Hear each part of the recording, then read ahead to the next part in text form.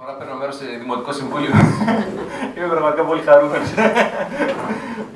Σας ευχαριστώ πάρα, πάρα πολύ για την πρόσκληση όλους ε, και έναν έναν ξεχωριστά. Ε, δεν περίμενα να είναι τόσο συγκινητικό να πω την αλήθεια, γιατί ε, αυτό το μέρος είναι συνδυασμένο με τον παπά μου, για, ε, είναι, εδώ πέρα έγινε εκπαιδευτικός ε, και, και πραγματικά είναι, είναι ένας από τους ανθρώπους που δεν μιλάει πολύ, απλώς υπάρχει και εσύ μαθαίνεις από αυτό, είναι πολύ ιδιαίτερο. Ε, τώρα, εγώ δεν ήρθα εδώ ως καμία διάνοια εκπαιδευτική, ας πούμε, ούτε κάποιος ο οποίος ξέρει τα πάντα πάνω στην εκπαίδευση σε καμία περίπτωση. Ε, Αντιθέτως, ε, κάναμε κάποιες προσπάθειες. Πολλές από αυτές μπορεί να πήγανε καλά, άλλες μπορεί να μην πήγανε και τόσο καλά. Ε, ωστόσο, η εκπαίδευση είναι μια διαδικασία πάρα πολύ ζωντανή, η οποία δεν έχει αποτυχίες, αλλά έχει πολλές ανατροφοδοτήσεις. Και μέσα από αυτές τις ανατροφοδοτήσεις γίνεσαι τελικά καλύτερος δάσκαλος, γίνεσαι καλύτερος άνθρωπος, ε, γίνεσαι όλα αυτά. Και το, μονα, το μοναδικό κέρδος είναι αυτό που βλέπεις ε, στα παιδιά. Και και αυτό που θέλω να σας δείξω τώρα είναι ουσιαστικά μια, ένα κλαδάκι, ας πούμε, ε, μια μέθοδος ε, και από εκεί και πέρα ε, ο καθένας έχει το δικό του ρόλο στο τι δάσκαλος θέλει να γίνει. Δεν υπάρχει κάποια συνταγή. Είμαστε πόσα δισεκατομμύρια διαφορετικοί άνθρωποι, δεν μπορούμε να έχουμε 7 δισεκατομμύρια εκπαιδευτικούς τρόπους για να διδάσκουμε τον καθένα. Ε, από εδώ βλέπετε ένα πλάνο από την αυλή του σχολείου, όπου τα παιδιά έχουν φτιάξει το μικρό ψιλορίδι από κάτω. Είναι ένα ορεινό χωριό φουρφουράς ε, της Κρήτης, ε, στα 500 μέτρα υψόμετρο. Ε, παίρναμε παιδιά από πάρα πολλά χωριά, από 6-7 χωριά, για να μαζέψουμε τελικά 45, ένα τετραθέσιο δημοτικό σχολείο. Ε, και έτσι ξεκίνησε η φουρφοροκατάσταση.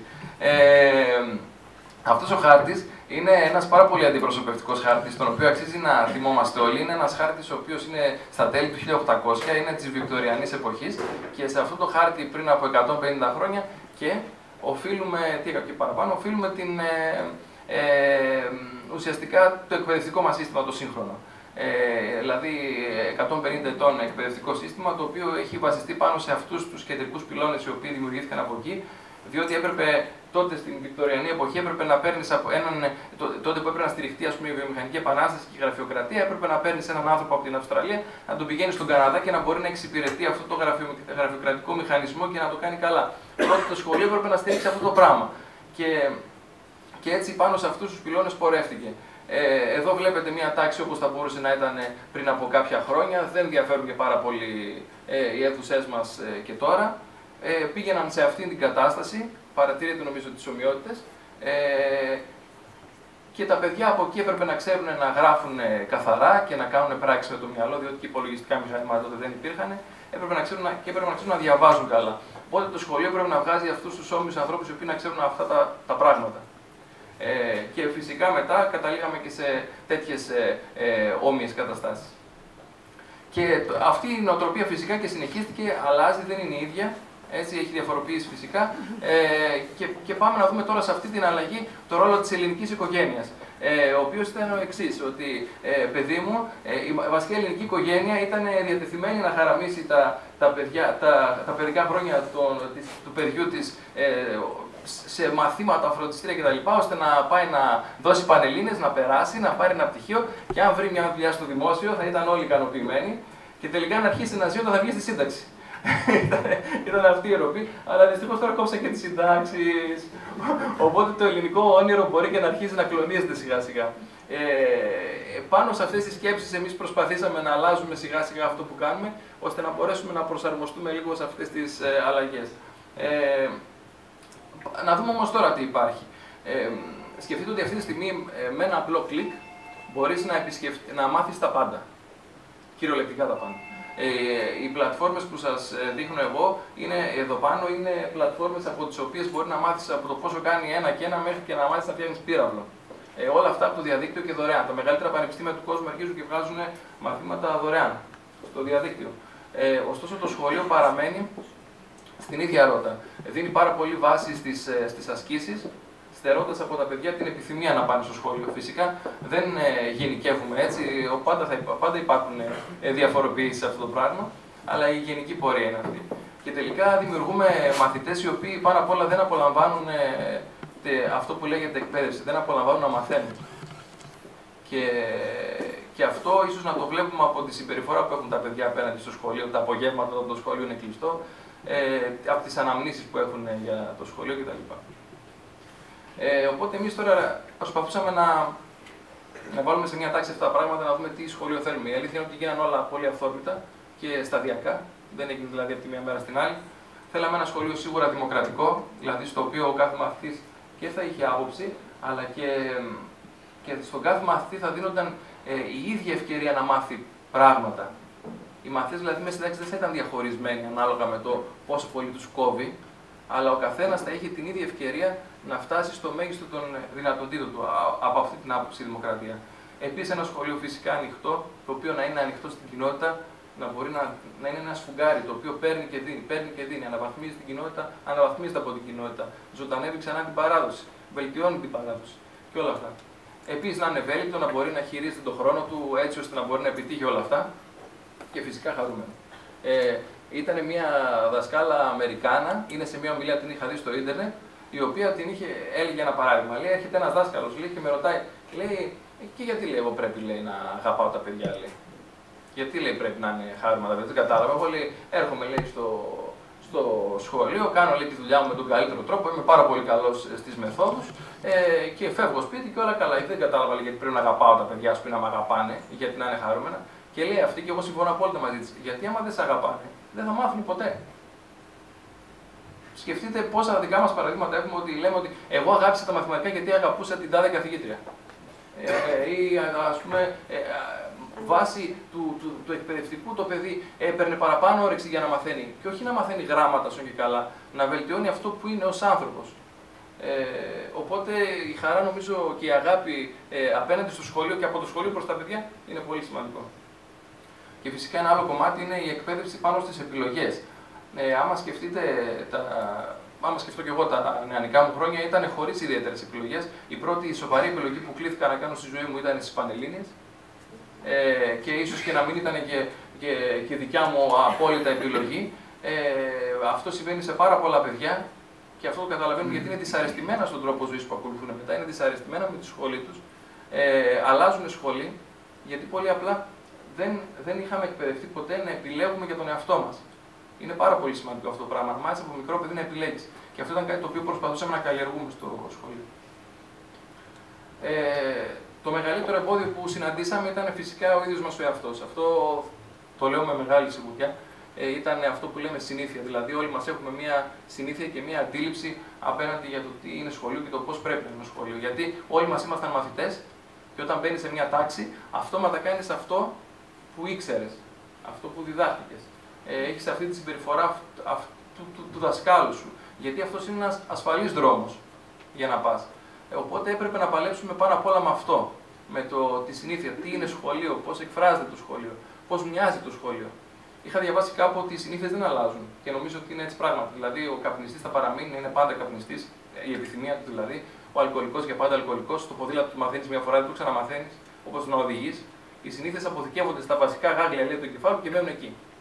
Αυτό που μπορείς να κάνεις όμως είναι να, να δημιουργήσει παρακαμπτήρες οδούς στις συνήθειέ σου ώστε να, να πετύχεις το ίδιο αποτέλεσμα. Οπότε εμείς αρχίζαμε και κοροϊδεύαμε το μυαλό μας ουσιαστικά. Αλλάξαμε τον τρόπο που μοιάζανε οι χώροι μας, αλλάξαμε το όνομα του σχολείου από ε, σχολείο, δημοτικό σχολείο Φουρφουρά, το λέγαμε το σχολείο της φύσης και των χρωμάτων, γιατί έτσι. Οπότε τα παιδιά δεν πηγαίναν στο δημοτικό σχολείο Φουρφουρά, πήγαιναν σε ένα σχολείο που ήταν στη φύση και στα χρώματα. Οπότε αυτόματα και, και εμείς ήμασταν διαφορετικοί απέναντι στο σχολείο και τα παιδιά διαφορετικά απέναντι στο σχολείο. Και αυτή εδώ η, η αίθουσα, ε, η φωτογραφία μάλλον είναι από τις αγαπημένες μου γιατί είναι χαρακτηριστικό παράδειγμα του πόσο δυνατή είναι η συνήθεια. Την πρώτη χρονιά που ήμουν στο Φουρφουρά, η τάξη μου ήταν πιο μετοπική από ποτέ. Δηλαδή τα θρανία το ένα πίσω από το άλλο, η, η έδρα περίοπτη στο κέντρο, πίσω στον τοίχο γεμάτο χάρτες στη σειρά, όλοι μιλάμε ζυγισμένοι, ζυγισμένοι, γιατί αυτό τότε μου προκαλούσε εμένα μια μεγάλη ασφάλεια, το θεωρούσα και ομορφιά κιόλας ε, μάλιστα. Και όταν πήγαινα ας πούμε, να αλλάξω τα θρανία μου να τα κάνω ομάδες, επειδή εγώ δεν ήμουν έτοιμος να το κάνω αυτό, τα παιδιά έλεγαν κύριε ξαναπηγαίνουμε. Πάμε πάλι όπως δεν πριν. Οπότε έτσι γινόταν, υπήρχε αυτό το πράγμα. Ε, κάπου στο τέλος της πρώτης χρονιάς, τέλος πάντων, ε, λέμε με τον Γιάννη τότε, έχουμε τόσο χώρο έξω, πρέπει να φτιάξουμε μια τάξη έξω. Ε, δηλαδή το δασάκι τζάμπα πάει. Πάμε, παίρνουμε τέντες από τα πράκτικε, τις στείλουμε μαζί με τα παιδιά, αλλά προσέξτε το παράδοξο. Έχουμε οριοθετήσει ένα αέριο χώρο με την τέντα, Έχουμε βάλει καρέκλες, έχουμε φέρει και πίνακα. Μας έπεσε η μέση. Οπότε τι κάναμε, δημιουργήσαμε μια κάμπριο τάξη. Δηλαδή ακριβώς πάλι το, το πώς είναι η τάξη, απλώς έξω. Για να δείτε πόσο δυνατή είναι η συνήθεια.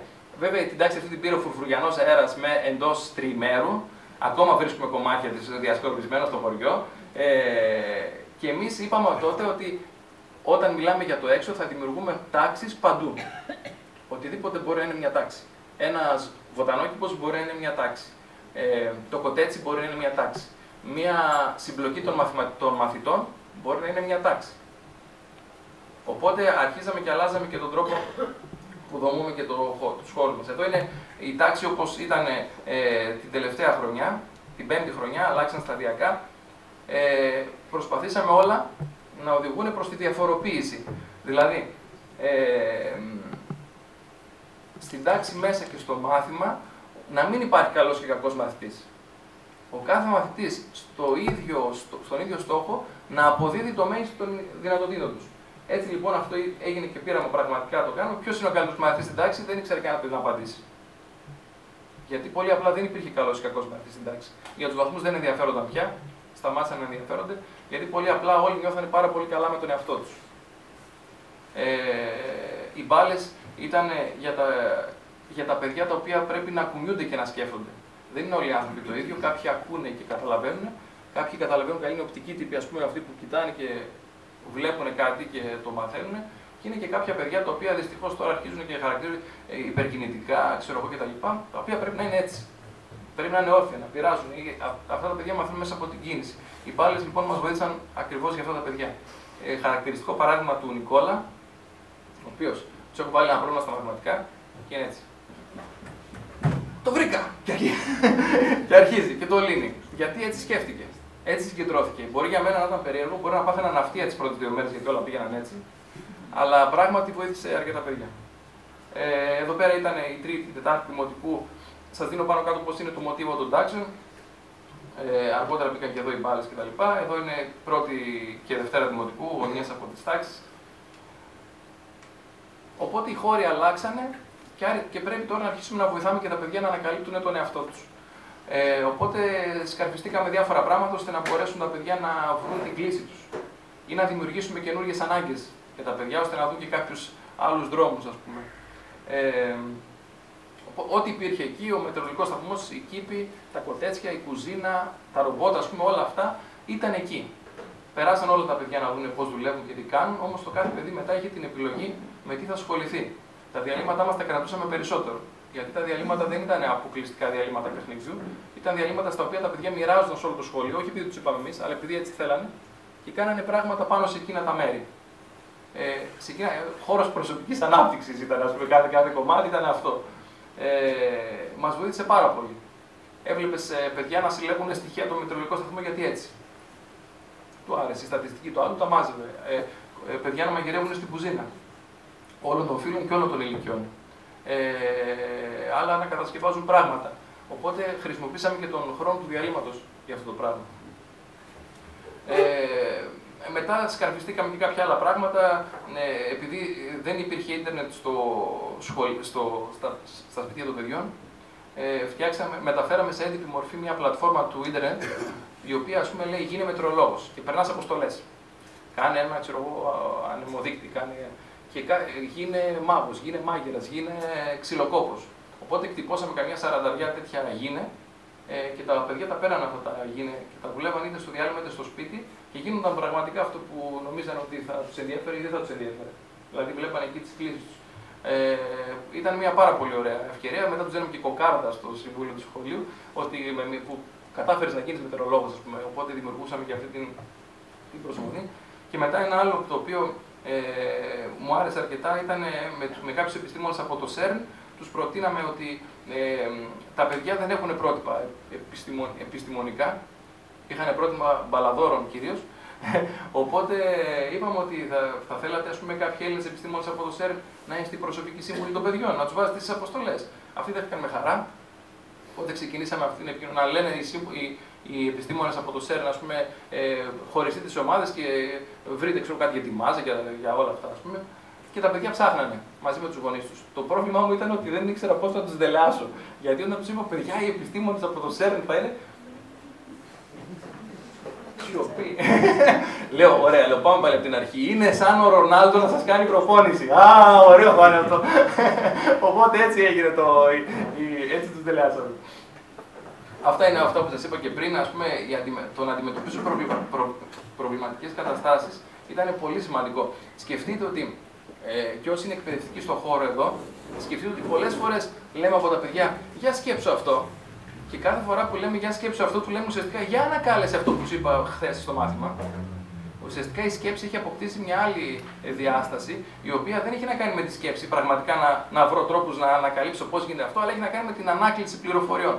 Οπότε εμείς προσπαθούσαμε να βάζουμε ζωντανές και ρεαλιστικές προβληματικές καταστάσεις, ώστε τα παιδιά να μπορέσουν να σκέφτονται, να δουλέψουν το μυαλό τους κοινώς ε, μια διαδικασία ήταν επίπονη. Αρκετά. Γιατί ε, πρέπει να αντιμετωπίσεις την τοπάθεια που έρχεται στην αρχή, να μάθει από την χάνεις. Αλλά είπαμε ότι δεν υπάρχει αποτυχία. Πρέπει να μάθει να, να, να, μην τα καταφέρεις και να δοκιμάσει ξανά. Να μην τα καταφέρεις και να δοκιμάσει ξανά. Ε, Α πούμε στα παιδιά στην αρχή στα μαθηματικά, ένα πρόβλημα, Όχι, δεν μπορώ. Κάνω αυτό. Εγκαταλείπανε. Οπότε εσύ πρέπει να τους μάθεις να μην εγκαταλείπουν. Και δώσαμε αρκετή βάση εκεί. Εδώ πέρα τώρα το μάθημα, όπως σας είπα, ε, έγινε έτσι, διαφοροποιημένα, ώστε να μπορούν το κάθε παιδί να ανακαλύπτει την κλίση του. Ε, αυτές είναι στιγμές από το μάθημα, από κάποια πειράματα. Εδώ φτιάχνανε κάτι ναούς, κάναμε κλάσματα, ξέρω εγώ, και κάναμε μέσα την αρχιτεκτονική ναών. Ε, και επειδή είναι, το, ο Φρουφουρά είναι παπαδοχώρη μεγάλο, ο Δήμος Αμαρίου είναι ακόμα μεγαλύτερος παπαδήμος. Δηλαδή, ε, στο χωριό μας είχαμε 7 παπάδες, στο Δήμο Αμαρίου 45. Δηλαδή είχαμε το, περίπου το 30% των παιδιών μας ήταν παπαδοπαίδια. Ε, οπότε η Εκκλησία και η θρησκεία ήταν πάντα ένα θέμα το οποίο μπορούσε να, να επικαλεστεί για να μπορέσεις να, να ως κινητήριος δύναμη ας πούμε, για, ε, για κάποια πράγματα. Εδώ πέρα ήταν μια από, τις πρώτες μας, ε, από τα πρώτα μας project ε, στο, στην αρχή της χρονιάς, όπου υπήρχε ένας αρχαιολογικός χώρος στο Αμάρι, ο οποίος ήταν γνωστός για αυτό που, που δεν ήταν κριτική. Ήταν, ήταν ένα, είναι ένα ε, μινοϊκό σφραγιδοποιείο Εκεί γίνανε οι πρώτες σφραγίδες. Ε, Κανένας Σαμαριώτης δεν τον είχε επισκεφτεί και τα παιδιά κανονίσαν, ας πούμε, μια εβδομάδα, δύο εβδομάδε δουλεύαν πάνω σε αυτό, ώστε να μπορέσουν να κάνουν ένα πρόγραμμα μουσιακό για παιδιά άλλων σχολείων και για τους γονείς τους. Και εδώ είναι τη στιγμή που κάνουν ξανά και στου γονείς τους ουσιαστικά πάνω σε αυτά που ανακαλύψανε σε εκείνο το χώρο. Εδώ πέρα, σε ένα καταλελειμμένο σπίτι που ήταν παλιά διοικητήριο Γερμανών στην κατοχή, κάναμε τη γιορτή της 28η εκεί και και των ημερών. Μια εβδομάδα ζούσαμε μέσα σε εκείνο το σπίτι. Ουσιαστικά όλο το μάθημά μας ήταν εκεί, τρώγαμε εκεί, ε, δουλεύαμε εκεί, καθαρίζαμε το σπίτι, μαθαίναμε μαρτυρίες από τους χωριανούς και από τους γύρω για τοπική ιστορίας. Ε, και αυτό το κτίριο στην τη γιορτή της 28η ε, έγινε ένα διαδραστικό μουσείο που τα παιδιά παρίσταναν τους Γερμανούς σε άλλο δωμάτιο, η διατροφή της κατοχής στο άλλο και ήταν ένα πολύ ωραίο πράγμα. Για να κλαίνει γιατί θυμήθηκαν πάρα πολύ ε, συμβάντα της, εκείνων των χρόνων που τους είχαν στιγματίσει πάρα πολύ τραυματικά. Ήταν πολύ ενδιαφέρον όλο αυτό. Σας τα δείχνω όλα αυτά για να έτσι σαν ένα δείγμα ας πούμε, του πώς γινόταν εκεί το μάθημα. Ε, και φυσικά αυτό που είπαμε και η αγάπη και η προσφορά. Ε, την επαναφέραμε γιατί είδαμε ότι έχει πολύ ενδιαφέρον ε, στα παιδιά. Τα, δηλαδή, εδώ βλέπετε τα εκτάκια να διαβάζουν παραμύθια στα νηπιαγωγάκια. Ε, είχαμε πάρα, πάρα πολύ καλή συνεργασία με το νηπιαγωγείο Σκεφτείτε ότι ας πούμε, από, την προσχολη... από το προνήπια δουλεύονταν πράγματα τα οποία θα χρειάζονταν τα παιδιά στην έκτη δημοτικού. Δηλαδή υπήρχε μια πάρα, πάρα πολύ καλή συνεννόηση και γίνονταν σταδιακά μπαίναν σε αρκετά πράγματα ώστε να διευκολυνθούμε και εμείς μετά στο έργο μας. Και νομίζω ότι αυτό είναι και ένα μήνυμα από μόνο του της συνεργασίας. Δηλαδή, όπου οι εκπαιδευτικοί μπορούν και συνεργάζονται, ε, ε, ε, υπάρχει ένα μεγάλο άτομο εκεί πέρα, δεν το συζητάω καν. Και όταν σε αυτή τη συνεργασία εμπλέκονται και άλλοι, γονείς, φορείς κτλ., και μετά το πράγμα νομίζω απογειώνει. Εδώ κάθε Παρασκευή μια ομάδα παιδιών έφτιαχνε πρωινό, έπαιρνε από τα αυγά μα από τις κότες, ζήμωνε ψωμί και το προσέφερε στα υπόλοιπα παιδιά του σχολείου. Και φυσικά το παιχνίδι, το οποίο απλώς παιχνίδι. Χωρίς κανένα ναι, εκπαιδευτικό στόχο. Απλώς παιχνίδι. Δηλαδή ήταν πολύ σημαντικό γι' αυτό. Εδώ τα βλέπετε τα πιτσιρίκια έχουν πάει για πικνίκ ας πούμε και τρώνε. Ε, αυτή η φωτογραφία τώρα. Ήμουνα της προάλλης με ένα σχολικό σύμβουλο στη Θεσσαλονίκη και μου είπε, Λέει πρέπει να, πρέπει λέει, να φύγω οπωσδήποτε λέει, γιατί 12 η ώρα έχω ένα ραντεβού. Γιατί μου κάνανε μια καταγγελία. Γιατί λέει, υπήρχε ένα κλαδί πεσμένο στο προάβλιο του σχολείου. Και, και αυτή που έκανε την καταγγελία, το παιδί της ουσιαστικά είχε πάρει το κλαδί και χτύπησε ένα άλλο παιδί. Και αντί να πάρει ευθύνη ο γονιός που το παιδί της χτύπησε το άλλο παιδί, έκανε αυτός ο γονιός καταγγελία στο σύμβουλο γιατί υπήρχε το κλαδί στην αυλή. Και λέω, τι θα πάτε να πείτε, ότι μηνύσατε το δέντρο και όλα και. δηλαδή, δηλαδή ε, το σχολείο δεν είναι αποστηρωμένος χώρος, δεν είναι νοσοκομείο. Το σχολείο, στο σχολείο τα παιδιά αλερώνονται, στο σχολείο τα παιδιά χτυπάνε.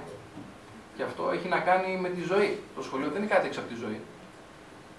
Ε, ακούω πολύ συχνά ας πούμε, φαινόμενα γονιών να διαμαρτύρονται γιατί ας πούμε, στο, στην τάξη του παιδιού έχει ένα παιδί ξέρω, που έχει αυτισμό και κάνει μπάχαλα εκεί πέρα μέσα. Ωραία. Πάμε να το σκεφτούμε όμως και από την άλλη πλευρά.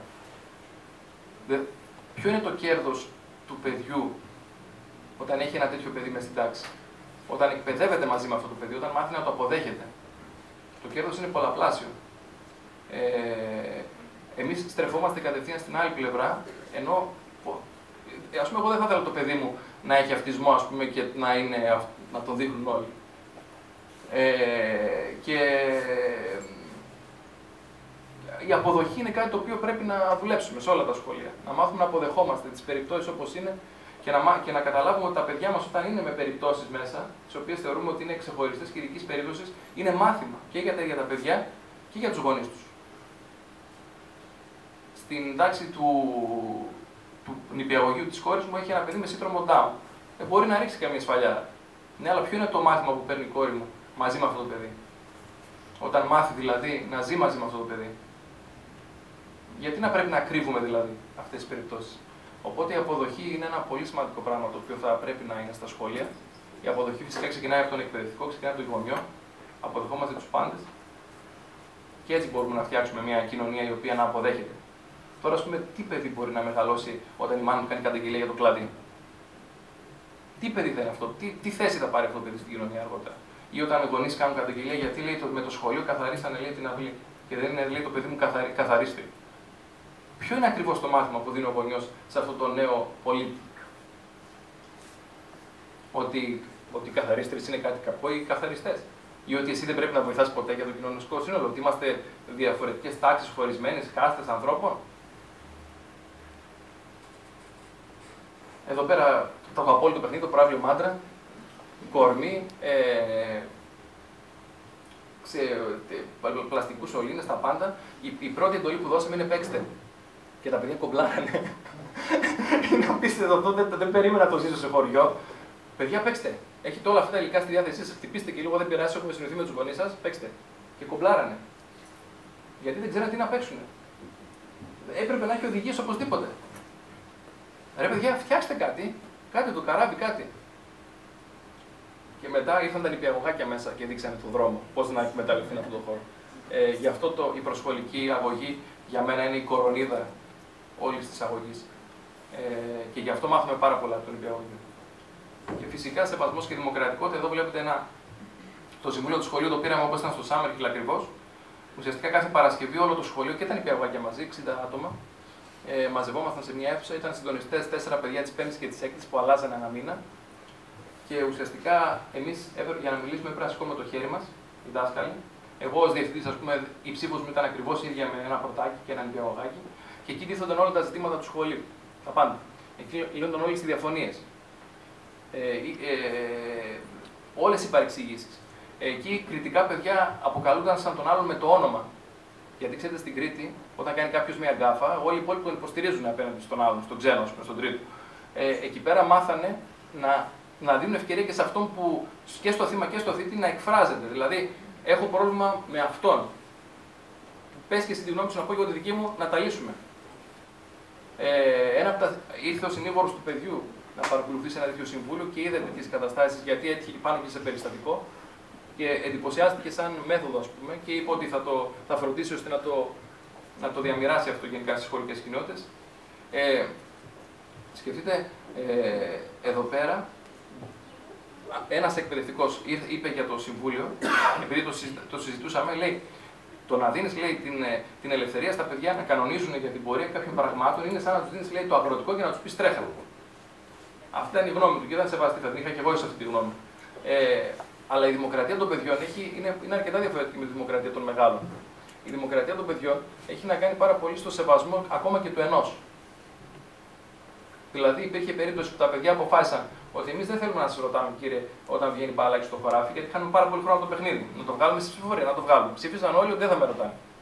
Δεν θα μας ρωτάνε. Όλους του εκπαιδευτικούς.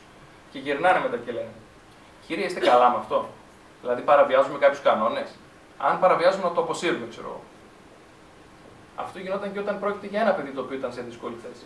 Φυσικά αυτά δεν γίνανε από τη μία μέρα στην άλλη, αλλά αυτά απαιτούσε ένα, ε, πέντε χρόνια. Αυτό έγινε την τέταρτη χρονιά ουσιαστικά το Συμβούλιο, αφού εκπαιδευτήκαμε μαζί να τα κάνουμε αυτά τα πράγματα.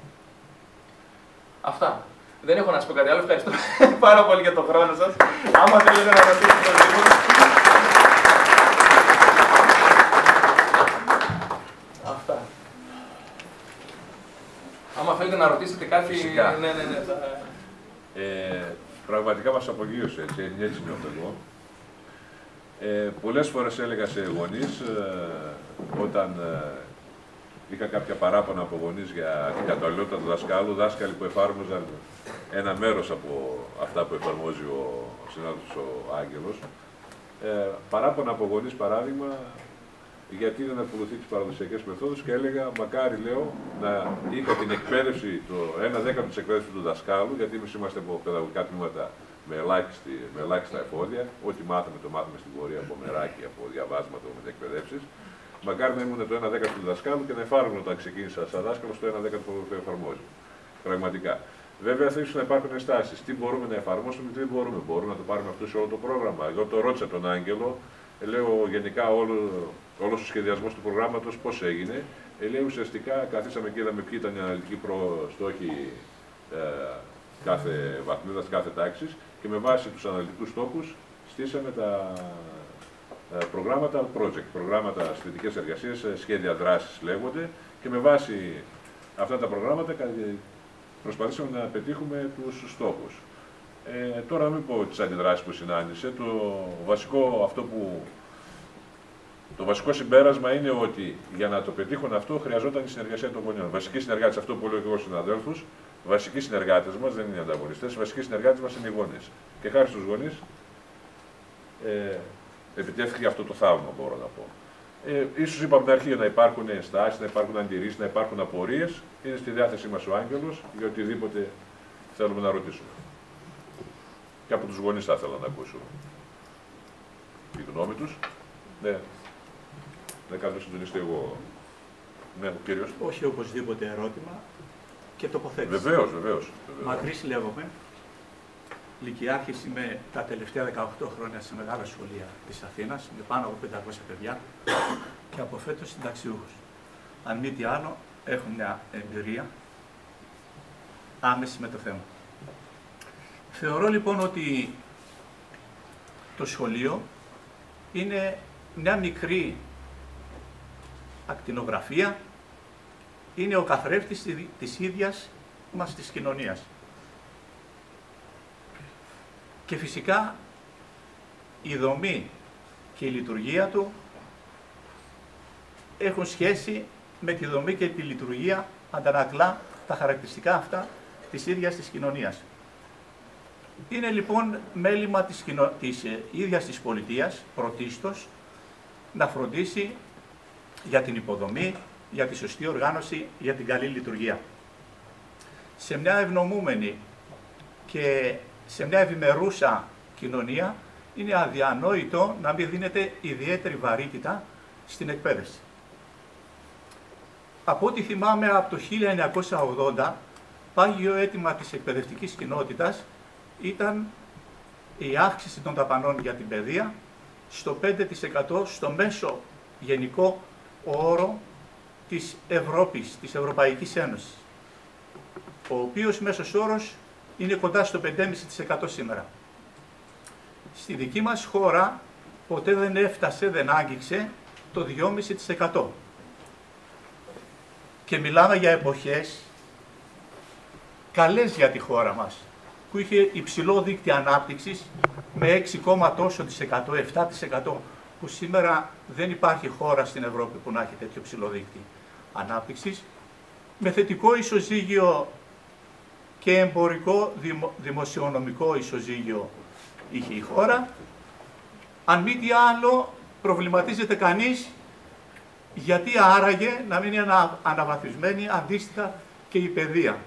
Σε τι άλλο θα μπορούσε να το αποδώσει κανείς, αν όχι σε σκοπιμότητα. Γιατί όπου, όπου δεν υπάρχει μόρφωση, όπου δεν υπάρχουν καλλιεργημένοι άνθρωποι, διαιωνίζεται το κατεστημένο πολύ πιο εύκολα.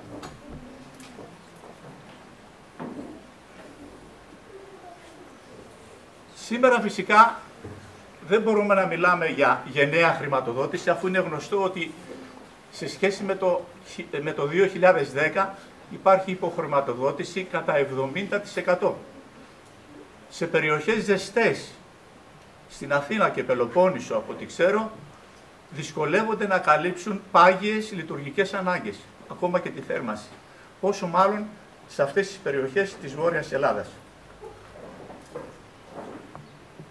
Έχει μεγάλη σημασία, κυρίες και κύριοι, συνάδελφοι, βλέπω πολλούς συναδέλφους, να είναι αισθητικά όμορφο ένα σχολείο. Σε ίδιες περιοχές, με ίδιο κοινωνικό υπόβαθρο και οικονομικό, βλέπεις τεράστια διαφορά από σχολείο σε σχολείο, όσον αφορά την επίδοση. Είναι γνωστό ότι στα κρύα και απεριποίητα σχολεία δημιουργούνται εντάσεις, δημιουργείται σύγκρουση, δημιουργείται, παρατηρείται βία μεταξύ των μαθητών. Είτε είναι παρούσα λοιπόν, είτε είναι απούσα η πολιτεία, είναι σημαντικότατος ο ρόλος του δάσκαλου. Είναι αυτός ο οποίος θα διδάξει τη διαφορετικότητα, διαχρονικές αξίες, τη δημοκρατία, την ελευθερία, την αλληλεγγύη, την ισότητα, το παιδί είναι ένα σφουγγάρι στην κυριολεξία που πλάθεται, που ρουφάει, είναι ζυμάρι που πλάθεται. Ό,τι βλέπει το κάνει και έχει μεγάλη σημασία ο δάσκαλος να είναι το καλό υπόδειγμα να δείχνει ότι ενδιαφέρεται για το παιδί. Έτσι το παιδί αποκτά, νιώθει ασφάλεια στο χώρο, νιώθει αυτοπεποίθηση αγαπά το σχολείο και έχει μεγάλη σημασία να αγαπάει το παιδί ένα σχολείο. Γιατί το αντιαισθητικό σχολείο είναι αποθητικό για το παιδί και δεν συμβαδίζει με την καλή επίδοση. Και κλείνοντας, να πω, να αναφέρω τους ιδεώδεις στίχους του μεγάλου μας ποιητή, του Κωστή Παλαμά. Σμπίλεψε πάλι δάσκαλε ψυχές και ό,τι σου απόμεινε στην ψυχή σου, μην το αρνηθείς. Θυσίασέ το ως η στερνή πνοή σου. Ευχαριστώ.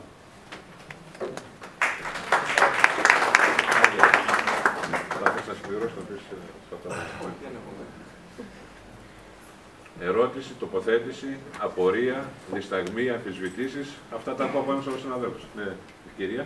Να ρωτήσω, εάν υπήρχαν αντιδράσεις στο ξεκίνημα, αν ήταν μόνο από τους γονείς οι αντιδράσεις, θα σου υπήρχαν και πώς τι αντιμετωπίζει. Αντιδράσεις υπήρχαν στο τελείωμα. Ναι. Ε, από γονείς ποτέ. Από τις αρχές κυρίως. Ε, αν με ρωτάς γιατί υπήρχαν τώρα, αυτό είναι μεγάλη κουβέντα που. Διεύθυνση πρωτοβάθμιση. Ε, τα γιατί είναι πολλά. Ε, εντάξει, ας μην τα αναλύσουμε τώρα. Ε, αλλά το αντιμετωπίσαμε συνεχίζοντας να κάνουμε αυτό που κάνουμε, ε, έχοντας γνώση του, του τι κάνουμε. Ε, δηλαδή, ήμασταν ε, αρκετά σίγουροι ότι πάει σωστά. Ήμασταν σε μεγάλη επικοινωνία με τους γονείς συνέχεια. Βλέπαμε τα αποτελέσματα του παιδιού. Είχαμε τους γονείς, ήταν το, η απόλυτη στήριξη δηλαδή για την απειλή. Ε, ναι. Ε, και τα αποτελέσματα φαίνονταν δηλαδή γρήγορα στη συμπεριφορά των παιδιών και αυτά και αυτά δεν μπορούσαν να τα αμελήσει. Οπότε, εντάξει, υπήρχαν άσχημες στιγμές με, με τη διοίκηση, ας πούμε, οι οποίες βέβαια τελικά δεν, δεν μπορούσαν να οδηγήσουν κάπου, ε, σταμάτησαν να υπάρχουν και απλώς πήραμε το δρόμο μας κι εμείς. Αυτό δεν. Αλλά είναι μια κουβέντα από μόνο. Και ο σύμβουλος ήταν κόντρα, ας πούμε. Και ο σύμβουλος Ε, ναι, τώρα όλα αυτά, ναι. Εντάξει, ναι, ε, ήταν, κάποια πράγματα γίνανε την περίοδο των αξιολογήσεων ε, και θεωρώ ότι και εμείς ίσως ε, κάναμε κάποια στρατηγικά λάθη όσον αφορά, ας πούμε, την παράκαμψη της ιεραρχίας, δεν ξέρω πώς να το θέσω. Νομίζω εκεί ήταν και το κύριο θέμα αυτό. Ε, παραυτονομηθήκαμε. Αυτό, εντάξει. Ε, ήθελα να συμπληρώσω, επειδή ρώτησα το, την ίδια ερώτηση καθέσει στον Άγγλο όταν πρωτογνωριστήκαμε. Η συνεργασία με τους γονείς ξεκίνησε με πολύ πρακτικά θέματα. Ήτανε, το βασική, η βασική προπόθεση ήταν ότι υπήρχαν μια ομάδα δασκάλων στο ίδιο πνεύμα αποφασισμένοι να δουλέψουν πάνω σε αυτή τη βάση. Ήδη από το καλοκαίρι που είπε ήταν στο σχολείο και αρχίσαν να επισκευάζουν και να διορθώνουν. Οπότε ο δάσκαλος τότε έγινε και βαθέα, έγινε και οικοδόμος ότι χρειαζόταν. Ε, είμαι και εγώ αυτής της αντίληψης, με, με αυτή την έννοια ότι της προσφοράς, για να μπορέσουμε μετά να στήσουμε ένα σχολείο από το οποίο θα φεύγουμε, θα ανατροφοδοτούμαστε εμείς ως εκπαιδευτικοί κυρίως. Πρώτα για τα παιδιά, αλλά το δεύτερο έφελο είναι και για εμά. Και φυσικά για τους γονείς και για την κοινωνία. Τελικά νομίζω ότι οι γονείς έχουν ανάγκη να ξαναπάνε στο σχολείο. Λέγομαι και εκεί Σταχνίδου. Είμαι μαμά μεγάλων πλέον παιδιών, αλλά βίωσα αυτό το χρονικό διάστημα όταν τα παιδιά μου πήγαιναν στο δημοτικό πριν από 30 χρόνια ε, το ότι δεν υπήρχε αυτή η αποδοχή όντως του διαφορετικού και υπήρχε ίσως η δυσκολία των συναδέλφων σας να το περάσουν αυτό στην ε, οικογένεια των γονέων. Οι γονείς είμαστε που δημιουργούμε πάρα πολλά προβλήματα στα παιδιά μας, τα βάζουμε εντός ε, δύο παράλληλων ευθειών και νομίζω ότι αυτά τα παιδιά βγαίνουν από θερμοκοιτίδα και είναι αδύνατον μετά να αντιμετωπίσουν την πραγματικά σκληρή ζωή όταν φτάσουν 18 και έρθουν απέναντι σε αυτό που είπατε και εσείς, ότι ίσως ήταν η επιλογή να γίνετε δάσκαλος, ίσως και κατά λάθος να γίνετε δάσκαλος, όπως πολλοί από, όλες, από όλους εσάς γίνατε δάσκαλοι γιατί ήταν τα μόρια τότε έτσι. Και εμένα το παιδί μου έγινε καθηγητής γιατί έτυχε να περάσει σε αυτή τη σχολή. Κάτι άλλο ήθελε να κάνει και κάτι άλλο θέλει να κάνει, αλλά λόγω λιτότητας και συγκυριών οικονομικών δυνατούν τα παιδιά, τα νέα τώρα να το κάνουν. Πάντως το ότι τα παιδιά πρέπει μέσα στο σχολείο να μάθουν αυτό που δεν μαθαίνουν δυστυχώς από όλες εμάς τις οικογένειες είναι ότι είναι ίσοι. Ίσοι πολίτες και εντελώς ανώμοι. Είναι πολύ σημαντικό αυτό που είπατε, να αποδεχθούν το παιδί με αυτισμό, το παιδί με κάποια ιδιαιτερότητα, γιατί αυτό το παιδάκι με την ιδιαιτερότητα, την πολύ μηδαμινή, ε, επειδή δεν υπάρχουν παντού σχολιά που υποστηρίζουν αυτούς τους ανθρώπους, χάνεται μέσα στην κοινωνία, γίνεται κοιμάς, γίνεται μοκέτα στην άσφαλτο. Και σας το λέω από προσωπική εμπειρία και θα πρέπει εσείς οι δάσκαλοι να βοηθήσετε εμάς τους γονιούς, εγώ πλέον θα γίνω γιαγιά, αλλά τους γονιούς να αποδεχθούν το ιδιαίτερο, να αποδεχθούν το διαφορετικό και να δεχθούν ότι το παιδί τους δεν είναι διάνοια. Όλα τα παιδιά, το καθένα έχει τη δική του ταχύτητα και τρέχει στη ζωή και επιτέλους ας τα αφήσουμε να τρέξουν, να παίξουν. Συμμετείχα σε ένα, συγγνώμη τώρα απασχολώ, αλλά συμμετείχα σε ένα συνέδριο κατά των ναρκωτικών πριν χρόνια και απέναντι στους καθηγητάδες όταν κάθισα εγώ μία απλή τότε νοικοκυρά, τους είπα γκρεμίσουμε τις πόλεις μας. Με κοίταξαν όπως κοίταξαν τα παιδιά εσά, με ανοιχτό το στόμα. Τι λέει αυτή; Εγώ είμαι 55 χρονών, έπαιξα σε γειτονιά, μάτωσαν τα πόδια μου και είχα την υπομονή, πόνεσα, αλλά είχα όλο εκείνο το χρονικό διάστημα μέχρι να υπατήσει, σηκώνεσαι, με δυσκολία στην αρχή προσπαθείς. Δεν παραδοθήκαμε. Η δική μου γενιά νομίζω, η δική μας και η μεγαλύτερη, είχαμε μάθει να αντιμετωπίζουμε δυσκολίες. Τα παιδιά μας μεγαλώνουν σε θερμοκοιτίδα. Μέσα σε ένα υπερπροστατευτικό περιβάλλον, έρχονται απέναντι σε ένα σχολείο όπου εκεί αναγκαστικά εσείς οι δάσκαλοι είστε υποχρεωμένοι να ακολουθήσετε ένα αυστηρά γραφειοκρατικό πρόγραμμα και δεν υπάρχει αυτή η ελευθερία και τα παιδιά ε, φεύγουν από ένα ε, πιεσμένο περιβάλλον, πάνε σε ένα ακόμη πιο πιεσμένο περιβάλλον. Δεν ξέρω, ε, πραγματικά πρέπει να είστε ε, καλλιτέχνες εντός εισαγωγικών, γιατί σε εσάς πέφτει το βάρος να μεγαλώσετε σωστά ανθρώπους που θα βγουν στα 18 τους και θα πρέπει να αντιμετωπίσουν πολύ σοβαρά προβλήματα. Σε μια κοινωνία που, σας είπα, μας κάνει μοτιέτες αν δεν έχουμε τις αντιστάσεις ε, να, να μπορέσουμε να, να, να, να κρατήσουμε τον εαυτό μας. Ε, οι γονείς είναι πολύ μορφωμένοι τώρα, ξέρουν πάρα πολλά, αλλά νομίζω ότι οι γενιές που μεγάλωσαν από γονείς που δεν είχαν πτυχία, αλλά είχαν τριβή με την καθημερινότητα, την προσπάθεια να υποστηρίζουμε ο ένας τον άλλο, να μοιράζουμε αγάπη, ε, νομίζω ήταν πιο καλά πατούσαν στα ποδάρια του.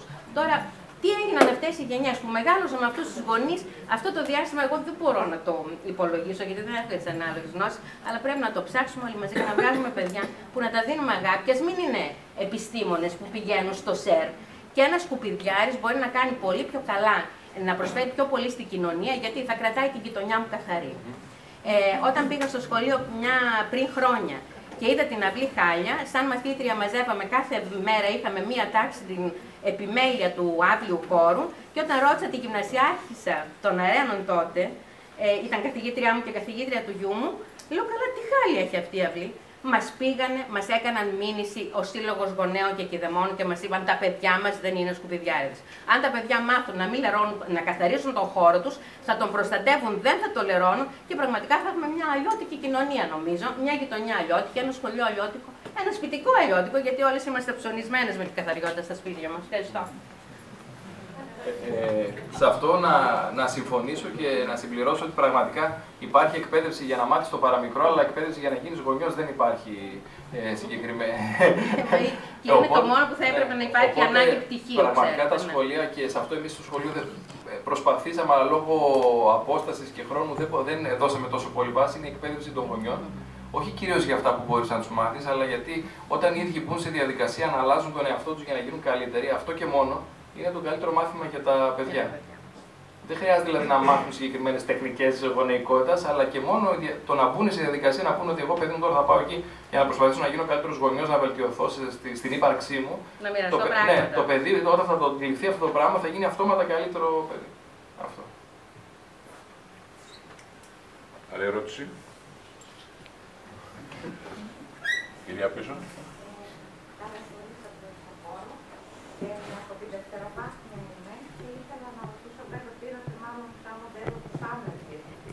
Όχι σε όλα, όχι μόνο στο Συμβούλιο, ο κύριος. Ναι.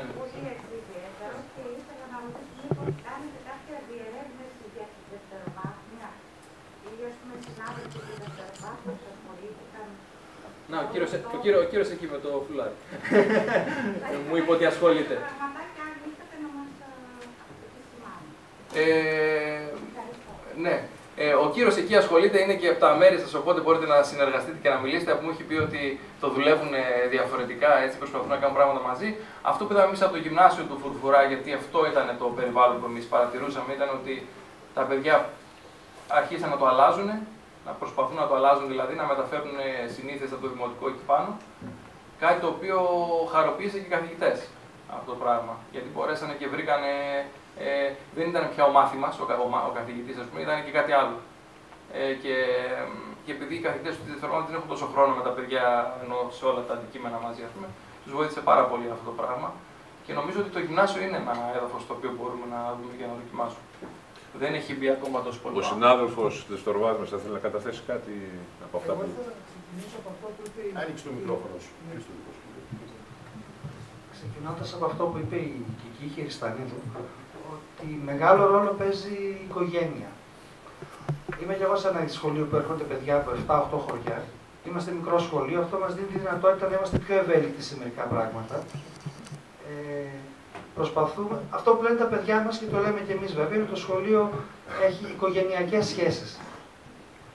Ε, εγώ ακολουθώ το σύστημα να παίρνω μία τάξη από την πρώτη γυμνασίου και να την βγάζω όσες περισσότερες χρονιές μπορώ. Ξαναπήρα την πρώτη, λοιπόν, είμαι πέντε χρόνια σε αυτό το σχολείο, αυτή είναι η πέμπτη μου χρονιά. Ξαναπαίρνω λοιπόν το Σισμανίδης Project τα πρωτάκια.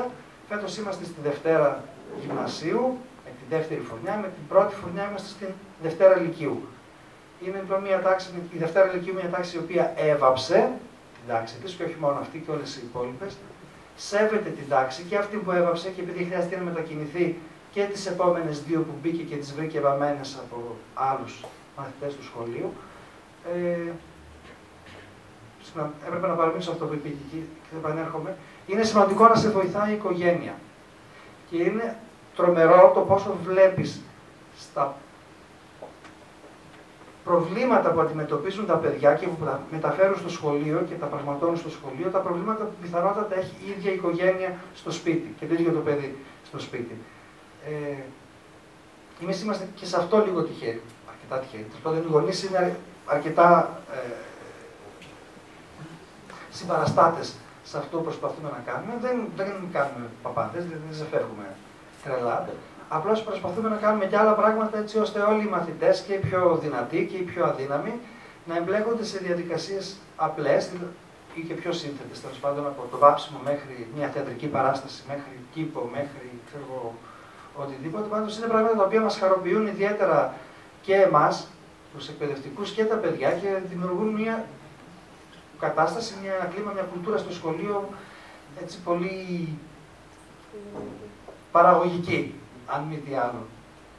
Και ευχάριστη και χαρούμενη και εντάξει, υπάρχουν μέρες που η Σαββατοκύριακο που περιμένουμε να έρθει η Δευτέρα για να πάμε πίσω στο σχολείο.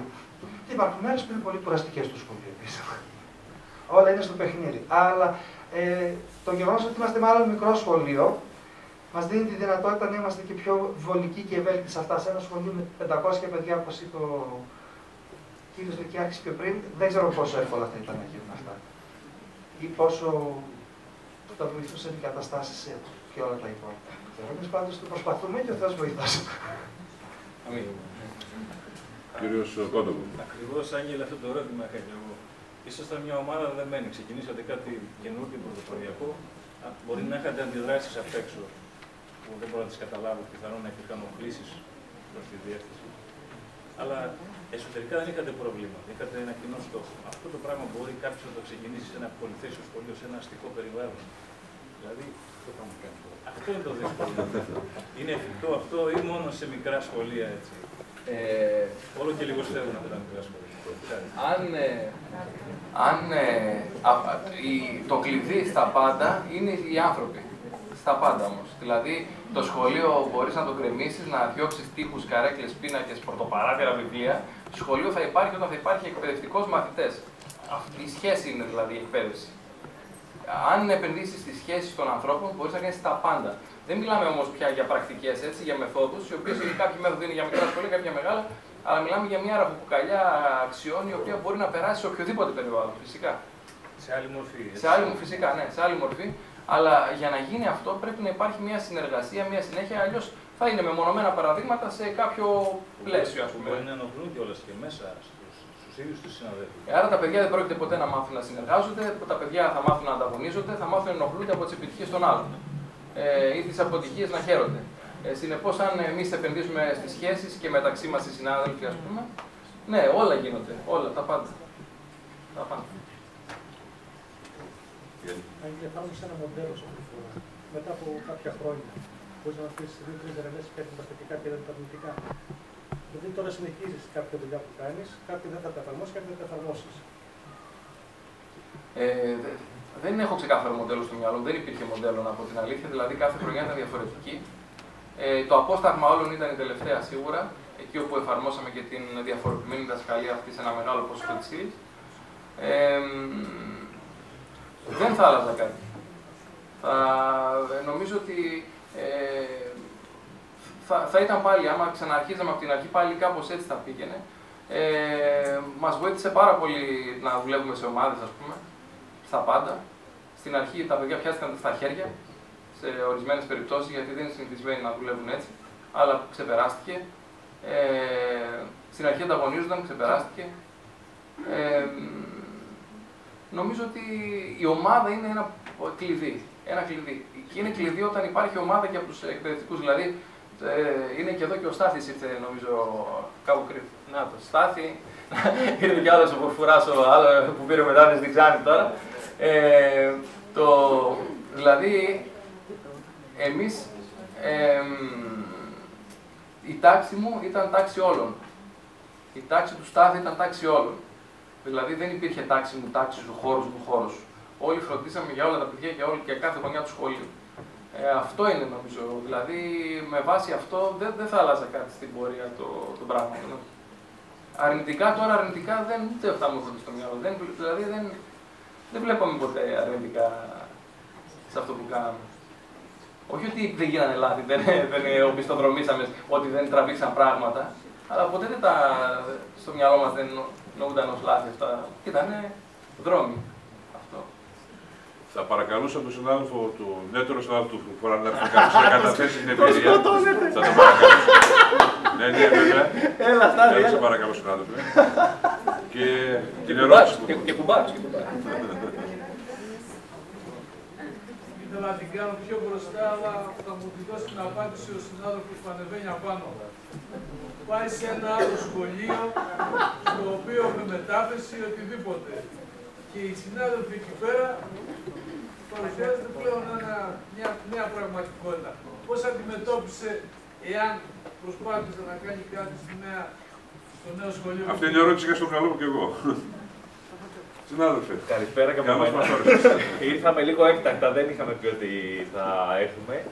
Ε, η αλήθεια είναι ότι η μετάβαση σε ένα άλλο σχολείο, εγώ τώρα έχω έρθει στην Ξάνθη, είμαι σε ένα μειονοτικό σχολείο, το οποίο είναι ε, στο μειονοτικό σχολείο του Δεκάρχου, το οποίο είναι ένας τελείως διαφορετικός κόσμος. Οπότε, ό,τι ιδέες και έχω κάνει και έχω εφαρμόσει, προσπαθώ να τις εφαρμόσω εκεί με τον συνάδελφο, τον ε, κύριο Τζαβίτ, που είναι και διευθυντής. Είμαστε διθέσει σχολείο, οπότε είμαστε περίπου στο ίδιο κλίμα. Και σιγά σιγά προσπαθούμε να κάνουμε κάποια πράγματα. Δηλαδή, αυτό τώρα που μπορώ πολύ εύκολα να κάνω είναι το θέατρο. Γιατί λόγω διγλωσίας βοηθάει πάρα πολύ το θέατρο. Τα- Για τα υπόλοιπα δεν ξέρω αν θα τα κάνω. Ε, μπορώ να καταθέσω την, έτσι λίγο τη γνώση μου σε αυτά. Επειδή ήμουν σχολικός σύμβουλος στα μενοτικά σχολεία την προηγούμενη τετραετία, είναι οι μουσουλμάνοι συνάδελφοι, συνάδελφοι μάλλον της ε, ε, τουρκικής γλώσσας, ε, είναι πάρα πολύ ανοιχτοί σε ε, καινοτόμες ιδέες. Οτιδήποτε είχα προτείνει, είχαμε προτείνει, το δέχτηκαν και με πάρα πολύ χαρά γιατί νιώθουν ότι ανήκουν και αυτοί στην εκπαιδευτική κοινότητα και δεν είναι συνάδελφοι β' κατηγορίας. Ε, καλώς όρισες στη, Στο πάνελ. στο πάνελ και καλώς όρισες και στη, σε μια εκπαίδευση που είχα την τύχη να την υπηρετήσω και εγώ τέσσερα χρόνια. Ανανία.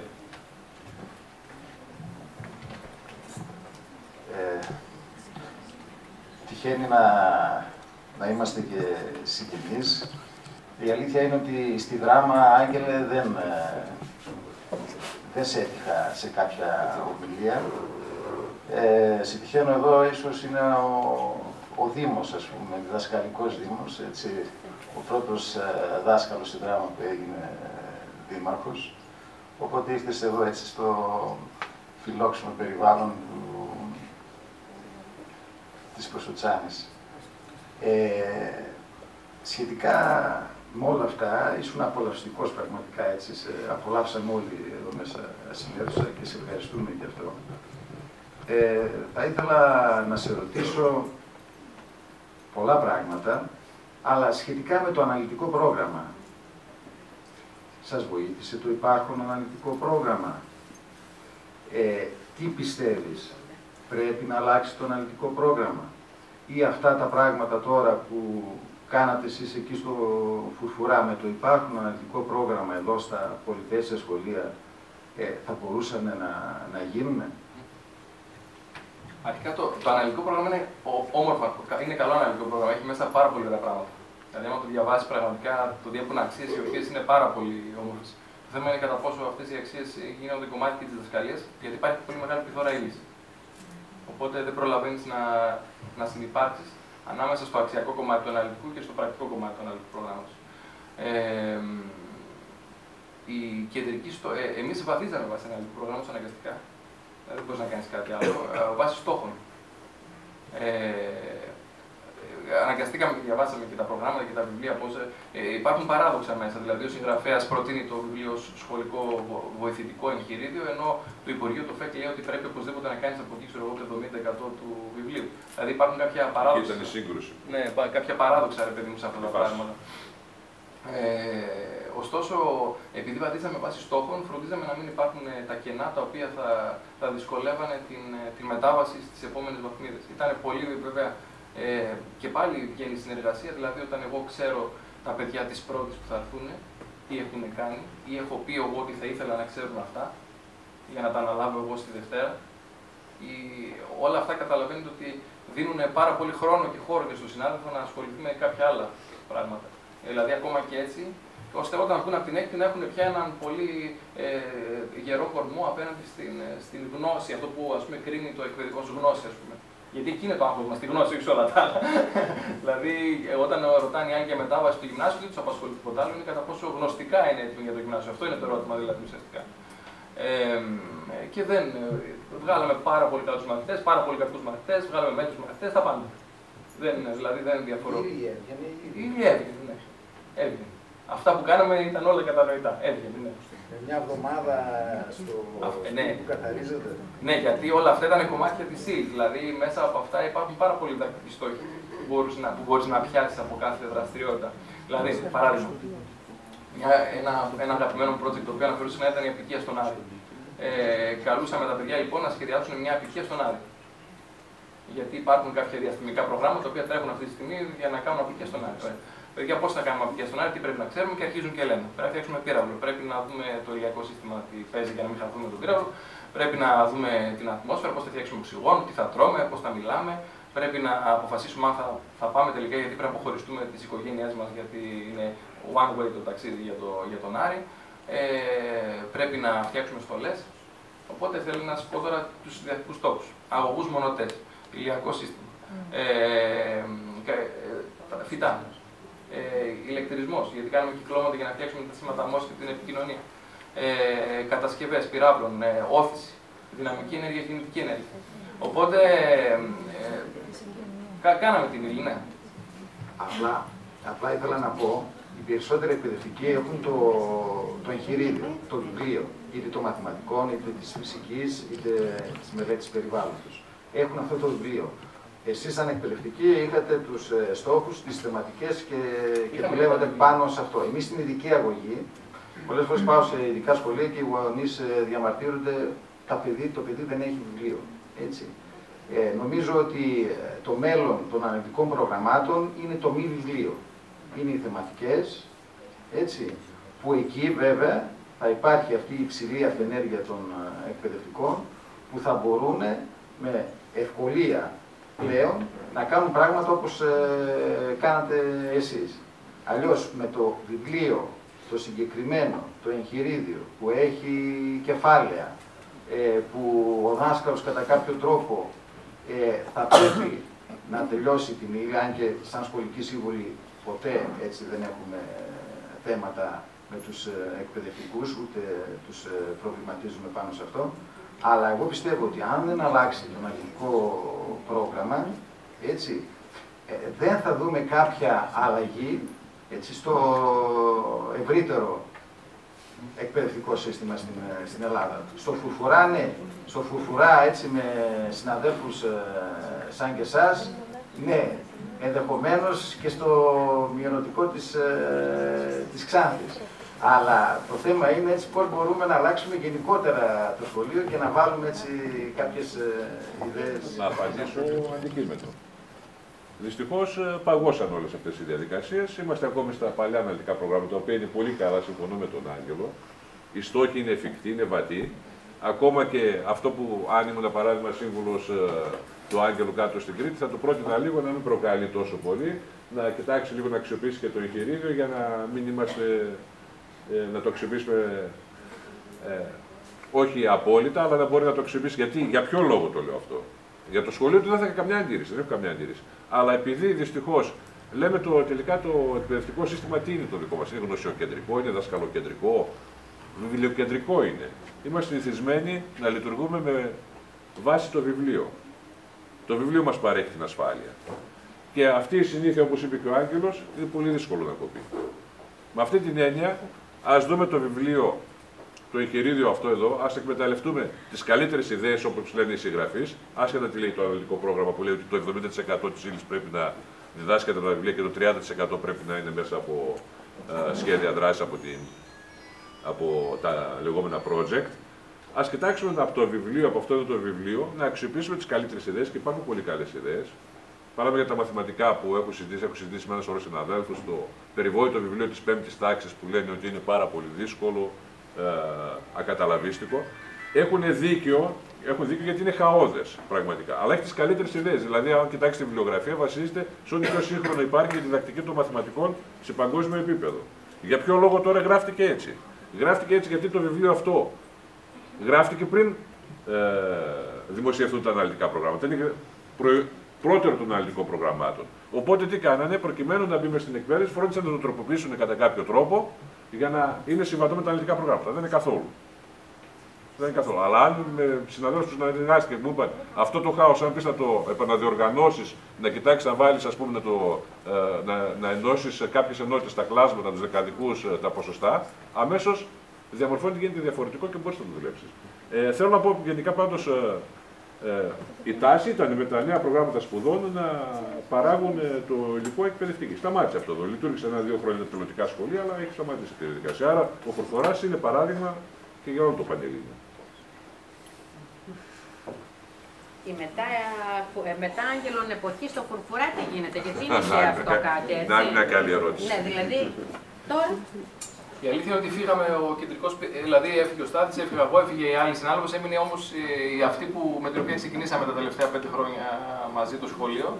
Ήρθαν δύο αναπληρωτές οι οποίοι θεωρώ ότι ξέραν που πήγανε. Ε, εντάξει, η, νο, η νοοτροπία έχει αλλάξει τώρα εκεί πέρα. Δηλαδή δεν, δεν περιμένουμε πάντα. Μια και κάθε μας χρονιά είναι διαφορετική. Θα δούμε πώς θα πάει. Μετά η εποχή Ναι. Φορφορά διαχέεται στη Βόρεια Ελλάδα, στην Ξάτη, στη Δράμα, εδώ στην Προσουτσάκ. Γιατί αν μάθεις τα καλά, ε, δηλαδή σε αυτό το τρόπο δεν είναι δύσκολο να ξαναπεί τα καλά. Θα, θα δείξει. Θα δείξει. Άλλη ερώτηση. Άγγελε, αν βρεθεί σε ένα το δεκαπέσιο σχολείο, δεκαπέσιο κτλ. Από όλα αυτά, τι πιστεύεις ότι μπορείς να υποτίσει. Αυτό είναι η ίδια απάντηση που έδωσα και πριν. Ουσιαστικά ε, μπορείς να υλοποιήσεις τα πάντα αν αποφασίσεις ότι μπορεί και να κάνεις μόνος σου. Αλλά θα είσαι έτοιμος να δεχτεί ε, συνέπειες αν υπάρχουν.